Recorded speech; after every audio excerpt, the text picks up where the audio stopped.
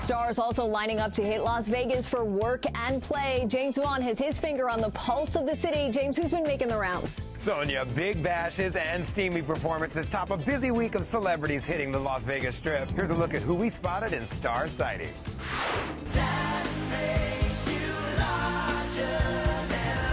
The Backstreet Boys debut their larger than life headlining residency at Planet Hollywood Resort and Casino. The best selling boy band of all time unveiled their high energy, one of a kind production to a sold out Axis Theater. Backstreet's back, all right.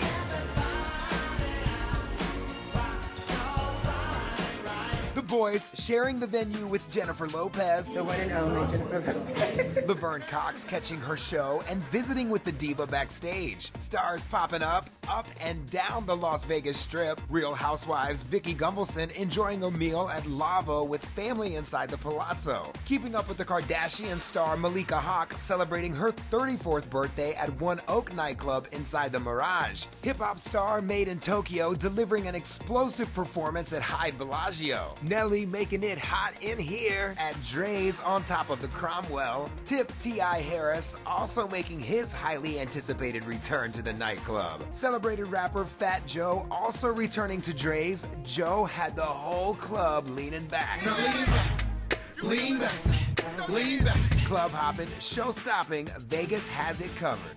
Hey, Sonia, next time you're in Vegas, make sure you hit up some of those celebrity hot spots. You never know who you might see. It's true, Jaymes. You never know.